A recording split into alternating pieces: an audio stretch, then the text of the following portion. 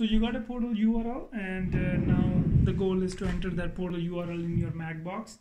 However, sometimes um, your MAG box only have one portal URL already entered and now you're trying to enter the second one or trying to change the first one, but it won't load the settings menu for you. Instead, it will keep taking you to the older portal.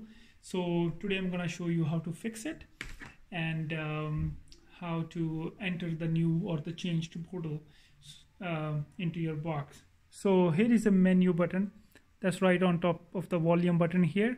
So keep a thumb on this one. So when this screen comes up, press menu, you press that button.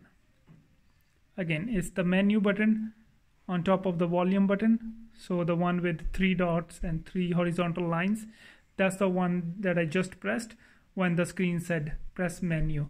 That takes you to this screen where you can go to system settings,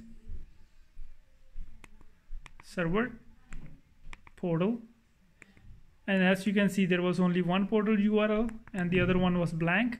So now you can either change the existing one or you can enter the new portal URL that you received into this portal 1 URL and uh, in other cases it might also happen that the portal 1 URL was there and the portal 2 URL was empty and still uh, it would keep taking you to the portal portal. So in order to change it you just again to repeat press the menu button when the screen says press menu as I showed before and that would take you to the settings page where you can enter the new portal URL now and then you save it restart your box and select the new portal.